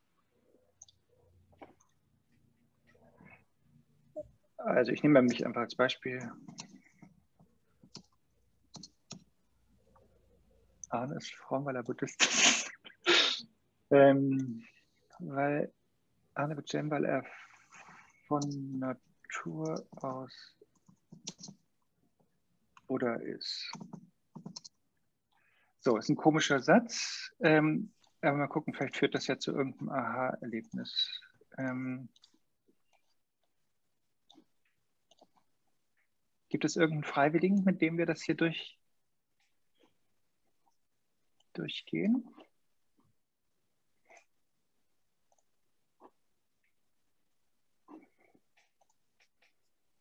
Hm. Paula, magst du versuchen? nee.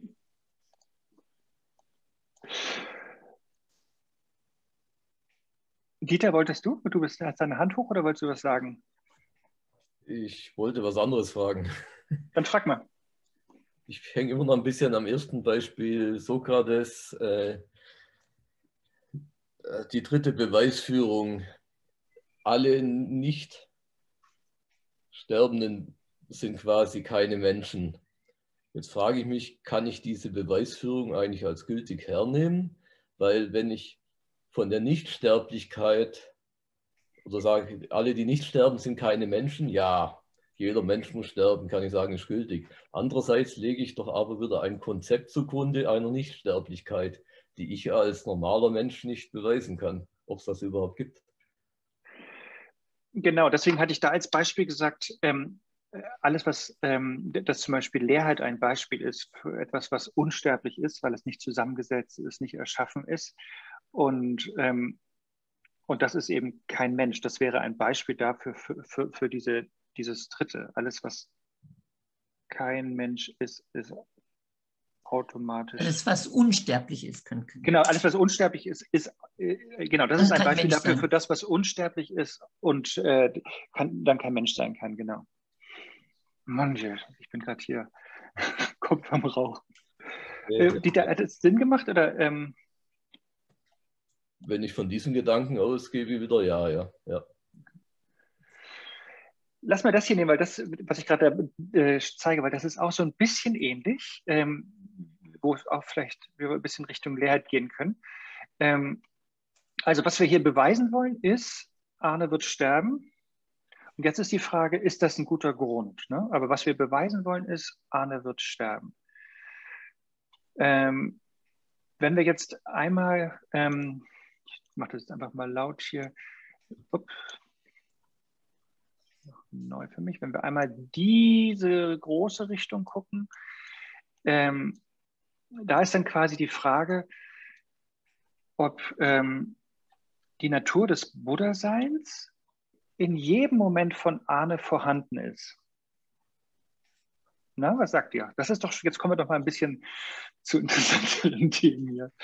Ähm, und ja, ne, hören wir so, ne, dass äh, die Buddha-Natur sowieso zeitlos ist und immer vorhanden ist und dass Milarepa auch sagte, ich, man kann jederzeit Buddhaschaft erreichen, sogar Ahne, weil eben der Geist immer dabei ist und die Natur des Geistes immer dabei ist und der Natur des Geistes eben die Natur des Buddha ist. Also das, das erste stimmt schon mal, die Beziehung. Alles, was von Natur aus oder ähm, in, ja, diese, dieses, das, was von Natur aus Buddha ist, ist immer vorhanden ähm, in, in dem, was Ahne ist. So, das stimmt zum Beispiel. Und jetzt wird es natürlich komplizierter. Hm, wie steht es denn hiermit? Alles, was notwendigerweise Buddha-Natur ist, wird sterben? Was sagt ihr? Ja, im Sinn der Non-Dualität. Ja, in der Non-Dualität oder aus, aus der Sicht der Buddha-Natur gibt es ja keine Geburt und kein Sterben. Und die Buddha-Natur ist ja eben immer da. Das heißt, die kann nicht sterben. Also ist das, was Buddha-Natur ist, notwendigerweise sterblich? Würde ich sagen, nein. Buddha-Natur kann ja nicht sterben. weil sie ja nicht zusammengesetzt ist. Ja. Ich würde hier, würd hier gerne einen Error markieren. Was ja gut ist. Also wir wollen ja, dass die Buddha-Natur unsterblich ist. Ist natürlich nur so ein Begriff, ne? aber ähm, unsterblich. Ne? Aber, aber so ist es. Buddha-Natur ist, ne, wenn wir das erste Siegel vom Buddhismus angucken, ist alles, was zusammengesetzt ist, ist vergänglich. Aber Buddha-Natur ist eben nicht zusammengesetzt und ist deswegen nicht vergänglich. Und jetzt, äh, okay, hoffentlich kriegen wir das äh, kopfschmerzfrei hin. Wie ist die dritte Verbindung? Ist das, was unsterblich ist, notwendigerweise keine Buddha-Natur. Also gibt es etwas, was unsterblich ist, aber keine Buddha-Natur ist.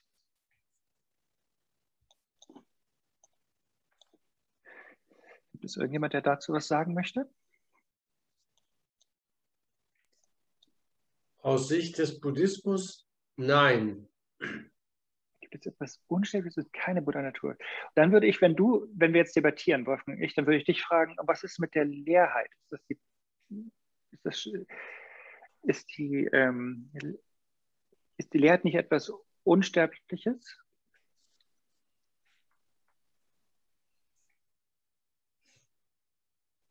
Gehört die Leerheit nicht zur Buddha-Natur? Ist es nicht ein Teil der Buddha-Natur? genau, ein Teil. Aber, aber wenn wir zum Beispiel die Leerheit von einem Gegenstand gucken, ne? Mhm. Also ich, ich sage mal meinen mein Satz, wenn, wenn ich hier die Frage bekomme, ist alles, was unsterblich ist, notwendigerweise nicht die Buddha-Natur, dann würde ich doch sagen, aber ich habe ja etwas, was unsterblich ist, zum Beispiel die Leerheit. Die ist ja nicht, ja, die ist Teil der Buddha-Natur. Das stimmt schon natürlich. Ja, ist tricky, ne? Ähm, genau, und jetzt, jetzt kommt dann nämlich äh, die große Frage, was jetzt dahinter steckt. Und, und das ist eben die, äh, das, was jetzt ein bisschen so die Antwort auf die Frage hier sein soll, wohin das Ganze führt, dass man dann wirklich jetzt ans Kontemplieren kommt. Ne? Wie ist das Verhältnis zwischen Buddha-Natur und Leerheit? Ähm, ja. Das ist die große Frage und dafür haben wir äh, gleich, ich, ich sehe dich, ähm, da haben, ich sehe dich, Marlene, dass du was sagen willst, aber ich will das noch kurz teilen. Und jetzt kommen wir eben dann nochmal zu diesen Dingen hier. Die Frage ist, ist Buddha-Natur gleichbedeutend mit Leerheit? Nee, ne? weil die Leerheit von einem Tisch hat ja nicht die Buddha-Qualitäten, würde ich sagen die, die, die, die Buddha-Natur ist ja leer, aber gleichzeitig voll von Qualitäten. Oder die Buddha-Natur ist leer und gleichzeitig ist da Gewahrsein. Aber ein Tisch hat ja vielleicht kein Gewahrsein, sondern nur die Leerheit. Könnte man sagen, ist also vielleicht nicht gleichbedeutend. Ist es das? Ist es total ein Widerspruch? Auch nicht so richtig, ne? Weil die Buddha-Natur ist ja auch leer. Also scheint es ja einen gemeinsamen Nenner zu geben. Ist es vielleicht so, dass die Buddha-Natur das Große ist und Leerheit das Kleine? Ja. Oder ist es so, dass Buddha-Natur eins hier ist und Leerheit das andere und dann eine Schnittmenge ist? Ähm, ich denke auch so wie Wolfgang. ich glaube auch, es ist eher so zu verstehen. Ähm, und das soll jetzt so ein bisschen deswegen habe ich dieses Beispiel genommen, das soll so ein bisschen äh, zeigen, eben, dass das total interessant sein kann ähm, und, und, wirklich ähm, ja, hoffentlich neue Verständnisse wecken kann oder Aha-Momente bescheren kann, wenn wir, äh, wenn wir solche Schlussfolgerungen uns anschauen, weil wir dann plötzlich nachdenken müssen, ja, wie sind die Dinge definiert? Was sagt der Buddhismus über Buddha-Natur? Wenn wir zum Beispiel Maitreya lesen, Uttara Tantra Shastra, ähm, da wird, ähm, und das hat Paula mir privat geschrieben, es hängt natürlich komplett immer von der Definition ab, schreibt sie. Und im Uttara Tantra Shastra setzt äh, Maitreya eben Suchness oder Leerheit oder Soheit mit Buddha Natur gleich. Hm. In, äh, das ist dann natürlich, ähm, genau, dann, dann, dann ergibt sich eben ein, ein, ein völliges Überlappen der beiden äh, Bilder. Ne? Das ist dann ähm, deckungsgleiche Mengen. Aber wiederum andere Belehrungen sagen eben so, die, die fühlenden Wesen haben einen Geist und die Natur des Geistes ist leer, aber gewahr. Oder die Natur des Geistes hat Buddha-Qualitäten in sich drin. Ne? Ähm, aber die, die Natur oder die Leerheit eines, ähm, eines Gegenstandes ist eben bloße Leerheit. Die, die, benutzen den Begriff dann von bloßer Leerheit und da sind dann eben keine Qualitäten. Das heißt, ähm, ein Tisch kann eben nicht Buddha werden, weil ihm, weil er nur leer ist, aber nicht die Qualitäten eines Buddha hat und nicht das Gewahrsein eines Buddhas hat.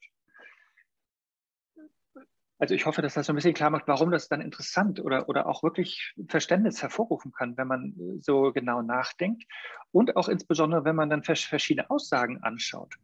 Wenn man nämlich zum Beispiel dann Yogacharya-mäßig drauf ist oder Chittamatra-mäßig, ne, wenn man sagt, alles ist nur Geist. Ne?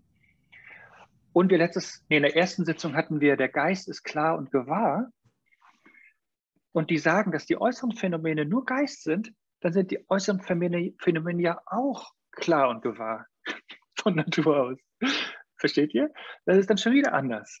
Das ist dann schon wieder eine andere Beziehung. Und ähm, ich weiß nicht, also ich bin jetzt auf jeden Fall begeistert, dass man da ähm, eben ja dann wirklich ans Kontemplieren kommt. Einfach nur anhand dieser verschiedenen Möglichkeiten, ähm, wie die Größenverhältnisse zueinander sind, ob es Überschneidungen gibt und ähm, und eben anhand dieser Schlussfolgerung mit diesen drei Elementen. Ich, ich finde es halt am einfachsten immer ja, mit so langweilig oder mit, mit solchen Begriffen wie Obst, Pampelmuse und Frucht oder Zitrus oder, oder Sokrates, Mensch und Sterblich. Das ist irgendwie klarer, wer da größer ist und wer kleiner ist. Aber hier mit ähm, Buddha-Natur und Leerheit ähm, finde ich es auf den ersten Blick eben auch klarer. Buddha-Natur ist größer wegen des Gewahrseins.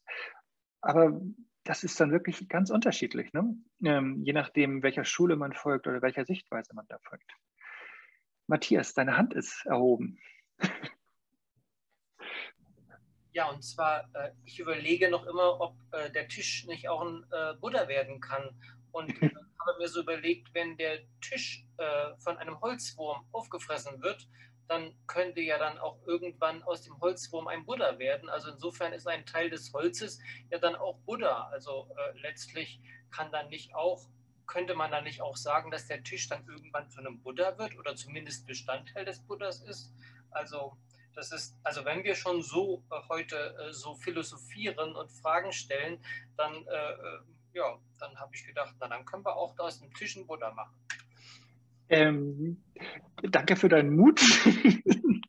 ähm, der Holzwurm, der Holzwurm, der hat ja einen Geist und der hat die Buddha-Natur.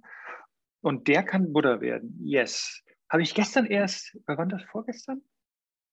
Wolfgang, glaub, du warst doch dabei. Da habe ich doch äh, so ein Sutra zitiert von, von Buddha. Das war von Subahu äh, erbetenes Sutra und da sagt Buddha, ja, ähm, selbst die Würmer, äh, Insekten, Bremsen und so weiter, äh, die können alle äh, Buddhas werden. Deswegen, warum ihr Menschen, die ihr die kostbare menschliche Existenz habt, warum, warum macht ihr es nicht? Ihr könnt es noch viel besser, ihr habt viel bessere Methoden. So, das war jetzt äh, nur ein Nebensatz. Aber da steht auf jeden Fall ganz klar drin, yes, Holzwürmer können Buddha werden. Aber ähm, das, was wir jetzt Tisch nennen, ist ja, ähm, hat ja kein Bewusstsein, oder? und äh, ist, ja, ist ja Materie, die eben, wenn wir das analysieren, ja aus, aus kleiner, also das ist aus Tischblatt und vier Beinen und, und Atome und untreibbare Teilchen und so weiter und schließlich Leerheit, ähm, dann in wechselseitiger Abhängigkeit dieses grobe Ding hier entsteht und wir benennen es Tisch. Wenn jetzt aber der Holzwurm diesen Tisch ist, dann ist der Holzwurm ja die Materie, die eben von Natur aus leer ist. Aber ähm, nichts von diesem Tisch ähm, ist ja wirklich, ähm, oder andersrum. Und dieser Tisch hilft dem ähm, Holzum lange zu leben und gesund zu leben, sagen wir mal, weil das ist ja das, was er essen soll, ist deswegen eine super Bedingung dafür, dass er Buddha wird. Bedingung. Und dann, ähm, Gampopa sagt dann noch, die äh, unterstützende Bedingung ist dann noch ein Lama, da muss also noch ein Holzwurm-Lama daherkommen und Belehrung geben. Und der Holzwurm muss Vertrauen haben. Aber die Ursache, sagt Gampopa, ist und bleibt ähm, Buddha, die Buddha-Natur des Holzwurms.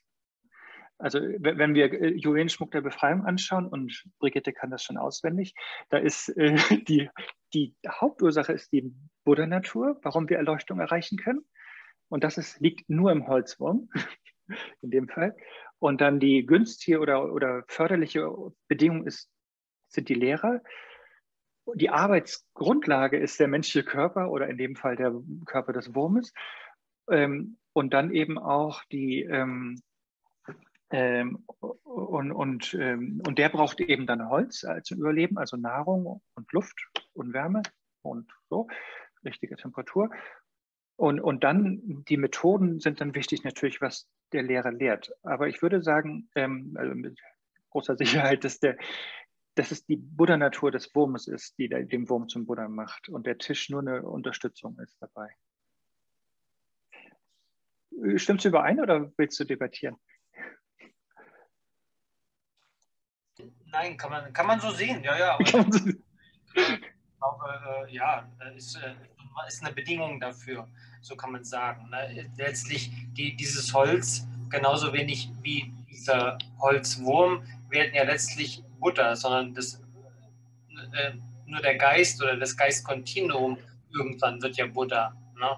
Also sprich, der Holzwurm als solcher wird ja auch nicht erstmal der Buddha, sondern der muss ja noch durch viele Wandlungen gehen, bevor er dann ein Buddha wird. Ne?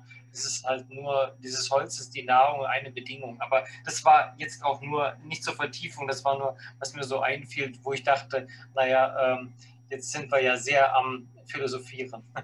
Genau, deswegen habe ich auch gerne mitgespielt, äh, um eben nach wie vor die Frage zu beantworten, warum wir das alles machen. Ähm, hier haben wir noch andere Fragen. Gleich, äh, Chris, ähm, Wolfgang. Ähm, einmal haben wir hier noch die Frage, hat ein Baum eine Buddha-Natur? Aus buddhistischer Sicht eben nicht. Ähm, das ist aber auch eine Riesendiskussion ähm, heutzutage. aber es ist sozusagen kein Daseinsbereich, so ne, in den sechs Daseinsbereichen, wo wir wiedergeboren werden oder auch nicht im form- oder formlosen Bereich. Deswegen hm, würde man sagen, wenn man so ganz klassisch sagt, dann sagt man, die fühlenden Wesen die haben eben ein Bewusstsein und das Bewusstsein ist per Definition klar und gewahr, hat die Buddha-Natur und hat die Buddha-Natur Qualitäten. Und das, die, die Wesen können Buddhas werden. Und dann die, die, die Gegenstände da draußen, alles, alle unbelebten Dinge, die können äh, Buddha-Bereich werden. Ne? Die nehmen wir jetzt eben als gewöhnlich wahr. Ähm, ne, ich, ich nehme ähm, ja, ich nehme jetzt mal Wolfgang als Beispiel, ich nehme ihn als einen gewöhnlichen, äh, schlauen, netten Mann wahr, aber so eine gewöhnliche Wahrnehmung. Aber wenn ich Buddha bin, ähm, das ist jetzt ein schlechtes Beispiel, aber dann, dann sehe ich eben, dann sehe ich alles als, als reinen Bereich. Ne? Wenn ich Buddha bin, dann sehe ich Wolfgang als das, was er wirklich ist, als, als Buddha. Oder ich sehe die Gegenstände als das, was sie wirklich sind, nämlich Buddha-Bereich oder Mandala im Vajrayana. Sozusagen, also die unbelebten Gegenstände, die, ähm, die können aus der Sicht nicht Buddha werden, ähm, aber eben Buddha-Bereich werden. Und äh, Chris sagt, haben wir einen Geist Buddha-Natur oder hat Buddha-Natur uns? Genau, das ist ja ähm, die, die, große Frage. Ähm, wenn wir eben dem achten Karma folgen, ne, wenn, äh, haben wir gelernt im Uttara Tantra Shastra, dann geht er davon aus, dass, ähm, dass äh, Buddha-Natur und Menschen eben eigentlich gar nicht, eine, gar nicht eine Verbindung haben, weil ich als Mensch bin aus den fünf Skandhas aufgebaut und die fünf Skandhas sind äh, nur aus Verwirrung und negativen Emotionen entstanden. Und das ist sozusagen das, was die Buddha-Natur ausbremst oder abhält. Das heißt, ich muss diese fünf Skandhas auflösen, um überhaupt die Buddha-Natur äh, zu erkennen. Aber eigentlich ist es andersrum, dass eben die Buddha-Natur eigentlich immer da ist und wir, wir als Mensch, diese fünf Skandhas, diese Verwirrung, Kleshas, wir sind das, eins, wir sind das Hindernis sozusagen. Wir, wir blockieren die Buddha-Natur im, im Erwachen. Das ist, wenn wir dem achten Karma verfolgen, wo, wo, wo sozusagen gesagt wird, die Buddha-Natur ganz relativ gesprochen, hat uns als Verblendung. Ähm, und das muss beseitigt werden, wohin eben die, viele andere Meister, wenn sie über Buddha Natur sprechen, also nicht der achte Karmapa und nicht Longchenpa und nicht Dolpopa, dann viele andere Meister, die sagen eben, ja, wir als fühlendes Wesen haben einen Geist und die Natur des Geistes ist die Buddha-Natur. Und das klingt dann so, als ob wir eine Buddha-Natur hätten. Das ist sozusagen die eine Richtung. Aber ich finde, wie Chris auch andeutet, die andere Richtung viel spannender, dass man sagt, nein, die Buddha-Natur ist nichts Persönliches, sondern die Buddha-Natur ist eigentlich der große Raum, in dem wir kleines Wesen irgendwie, verwirrtes Wesen irgendwie vorhanden sind. Und wir sind äh, das, ähm, was zu bereinigen gilt oder was aufzulösen ist. Und was übrig bleibt, ist die Buddha-Natur. Aber ist denn die Buddha-Natur nicht ein alles Durchdringendes, und zwar alles Durchdringendes, also auch uns? Natürlich, ja, ja, das, genau, natürlich. Aber ähm, das Beispiel ist halt so, die Buddha-Natur ist eher so alles durchdringend wie der Himmel und in dem Himmel ist halt eine Wolke und das bin ich, sozusagen meine Verwirrung und meine Kleshas. Und ähm, es ist nicht so, dass die Wolke den ganzen Himmel hat. Die hat einen Teil des Himmels, ne, weil der, eben der Himmel alles durchdringt. Also die Wolke hat, ähm, aber die, genau, das, das Größenverhältnisse sind eben so, die, die, Wolke ist im Himmel und, und, und umfasst nicht den ganzen Himmel. So rum. Ne? Also das ist die eine größere Menge ist Buddha-Natur und dann da drin ist dann vielleicht die Wolke. Ähm, und das ist halt, finde ich, ein sehr spannender Gedanke so. Und ähm, ähm, ich habe das ja, also ich finde, da, da kann man wirklich lange drüber kontemplieren, wie das Verhältnis ist zwischen ähm, mir als führendem Wesen und einem Buddha. Und das ist zum Beispiel auch ähm, interessant. Ich weiß, wir sind fast fertig oder eigentlich schon längst fertig mit der Zeit und Wolfgang wollte auch noch was sagen. Aber um es noch weiter zu verwirren, wir denken ja normalerweise, wir denken normalerweise so, dass wir die Vase sind und dann ist eine goldene Vase sozusagen der Geist oder die Buddha-Natur in uns. Ne? Longchenpa, Dolpofa, Achterkamapa sagen das genau andersrum. Die sagen so rum, die Buddha-Natur ist die Vase und, ähm, nee, noch nicht mal. Man könnte denken, vielleicht ist die Buddha-Natur die Vase und wir sind irgendwie da drin. Aber Achterkamapa und Longchenpa und Dolpofa sagen eher so. Buddha-Natur ist wirklich das eine. Und ähm, und die, die, die Verblendungen sind niemals, niemals die Buddha-Natur. Oder ist es vielleicht so? Ist die Buddha-Natur das und hat eine Überschneidung mit dem, was fühlende Wesen sind? Vielleicht ist es das. Ähm, und genau, das ist vielleicht eine super Sache, darüber mal nachzudenken, wie die Verbindung ist zwischen fühlenden Wesen und Buddha-Natur oder fühlenden Wesen und Buddha. Ähm, vielleicht bis zum nächsten Mal. Eins dieser Möglichkeiten. Es ist exakt das Gleiche ein Wesen und Buddha Natur. Haben die überhaupt keine Beziehung? Ist das eine größer als das andere? Und wenn ja, welches? Oder sind die neben, nebeneinander und haben eine Schnittmenge? Ähm, und das wäre, wär, glaube ich, genau, weil Chris oder wer auch damit angefangen hat, das ähm, ist ein spannendes Thema, finde ich. Und, ähm, und da kann man so vielleicht Chandrakirtis äh, Ratschlag auch folgen. Das Wichtigste ist das Suchen, aber nicht das Finden.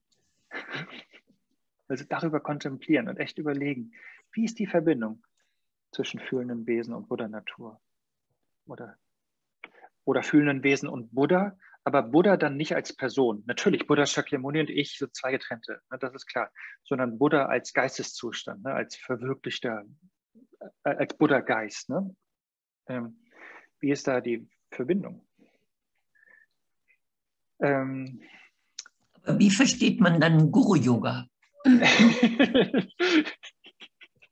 genau, genau. Das ist äh, so schön eigentlich, dass wir darüber sprechen, weil da war wirklich eine Frage, was bringt das Ganze? Und ähm, das ist auch eine super Frage. Ähm, genau, können wir überhaupt einen Segen von da draußen bekommen? Ist der Guru überhaupt da draußen? Oder Fragezeichen, ist der Guru nur eine Reflexion unseres eigenen Geistes? Oder ist der, oder ist der Guru die Reflexion unserer Buddha-Natur? Oder waren wir noch nie getrennt von dem Guru? Oder sind wir getrennt vom Guru? Fragen über Fragen. Und, die, und, ähm, und ich würde gerne ohne Antwort diese Frage beantworten, sondern einfach genau diese Fragen. Wäre super, sich zu stellen. Ne? Kann man Segen erhalten durch eine Einweihung, durch einen Guru? Kann der Guru uns erleuchten oder nicht? Wie gesagt, sind wir getrennt? Waren wir jemals getrennt? Wie ist die Natur von uns beiden? Ist die gleich oder verschieden? Wolfgang, hast du noch was Brennendes? Du hattest dich schon vor langem gemeldet.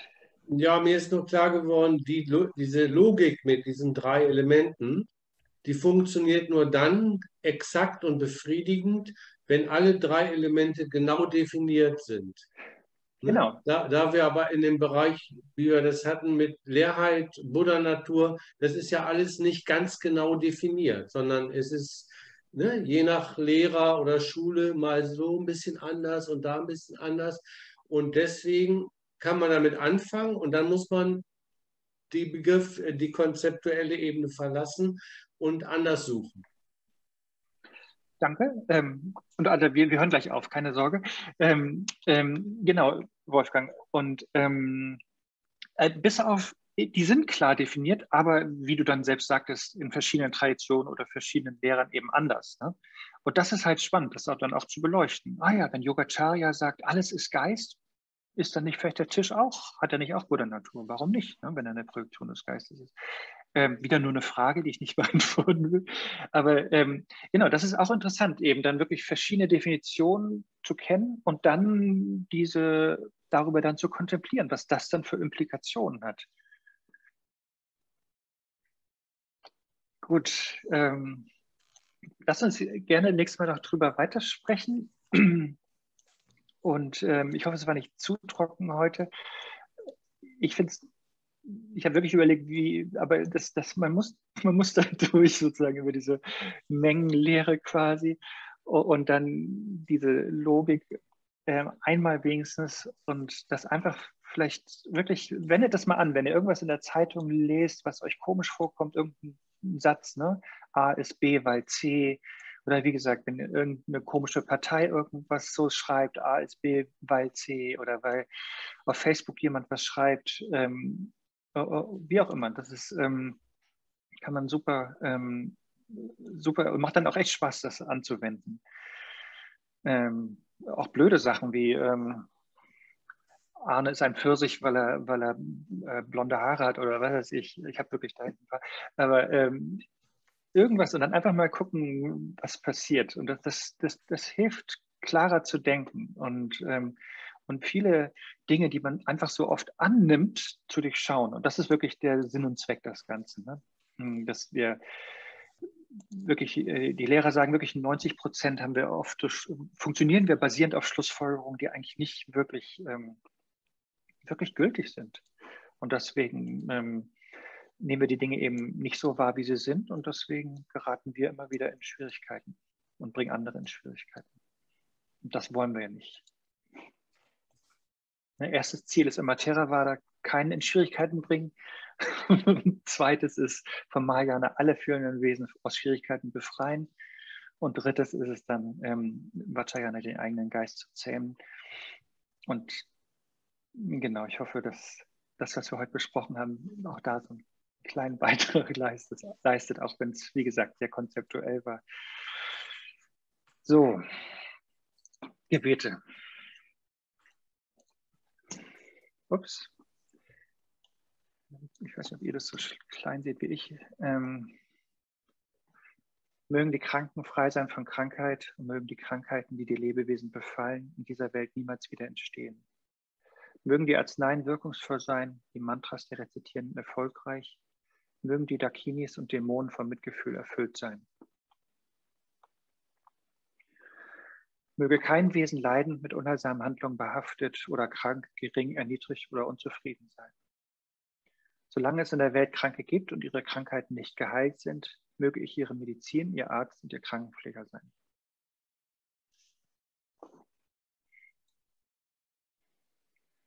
Gut, vielen Dank. Ich hoffe, ich hoffe wirklich, es war nicht zu strange heute. Wie gesagt, einmal finde ich, muss man das mitmachen. Nächstes Mal wird es wieder anders.